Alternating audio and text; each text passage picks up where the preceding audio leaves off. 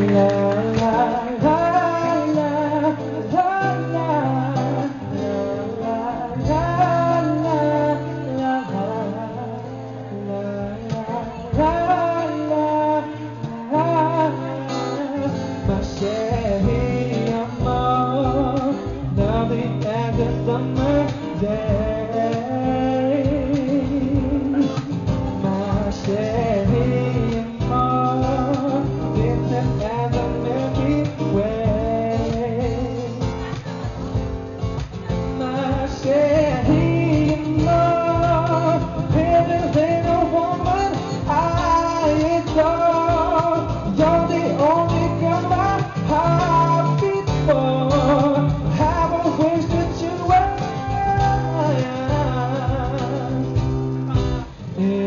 the cafe,